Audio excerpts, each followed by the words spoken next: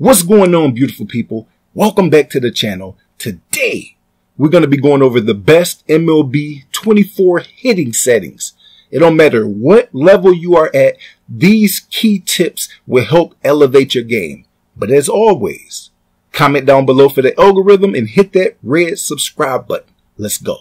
Thanks to my video sponsor U4GM. They are offering cheap MLB The Show 24 stubs with fast delivery. If you are interested, check the link in the description and check out more services. Use code Phat for 5% off.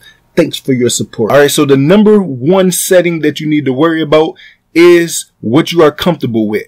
I like to have fishbowl for my inner, PCI center. I like to have nothing, nothing in the middle, no diamonds, no circles. I want to be able to track the ball from the pitcher's release point all the way until I make contact with it.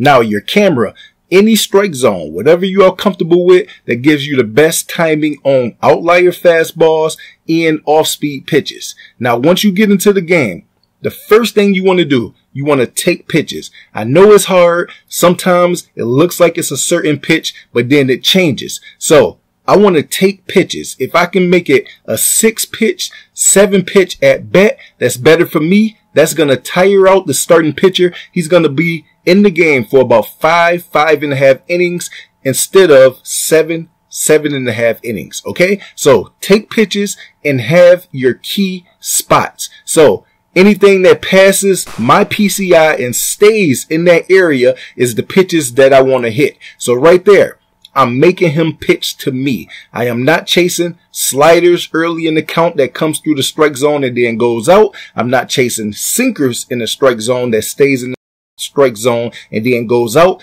I want pitches to me that I am comfortable with that I don't have to move the PCI as much. So that's center, center, and then up pitches. So you can see, I'm watching where the pitcher's release is at. Boom, he throws a sinker in the strike zone. Remember what your pitchers do. Hard pitch, hard pitch. One in the strike zone, one out the strike zone. Now we waiting for something that's going to stay in the strike zone now that we got the timing down. That one comes in the strike zone, then goes out of the strike zone. This one below the strike zone. So three, one count. Give me something to hit with two runners on base. I want to make sure I am under the ball because I don't want a double play. We make good contact right there.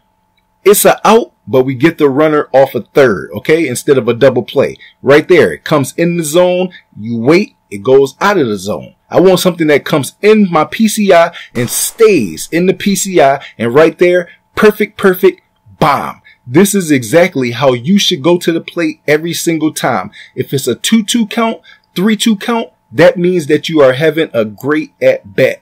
Now, right here, you're going to see he's going to eventually switch his pitcher right here. He's taking that guy out. We are seeing him very good, bringing a different person.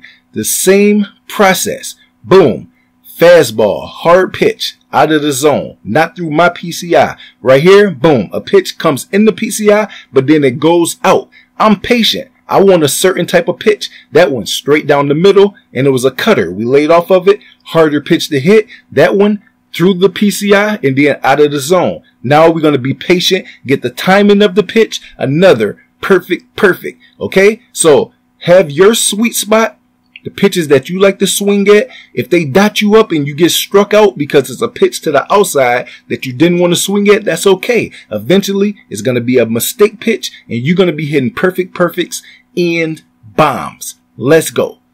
Hit that red subscribe button. Make sure you use the code down below for my sponsor. Get one big amount of stubs and then be done with it. Cheapest stubs and the best tips. Let's go.